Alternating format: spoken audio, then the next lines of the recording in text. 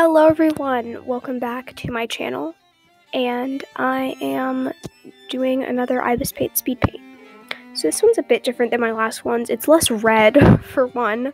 Um, so I recently started watching Tangled the series. I've only watched like a few episodes of season one, but I really like it. I really like Varian, um, so I decided to draw him because yeah, he's pretty epic, and I like his design a lot. Um, he looks kind of crusty in season three. I haven't watched that yet, but his goatee is not it, Chief.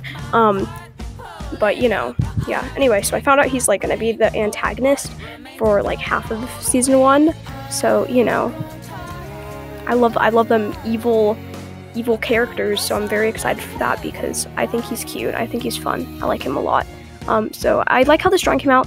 But let me tell you, I suffered while making this because I found my tablet finally. So I started using IBIS on there and like the blur tool just kind of didn't work. It just like showed up as like black pixels. It was not it. So I had to use like this airbrush and it was not a fun time.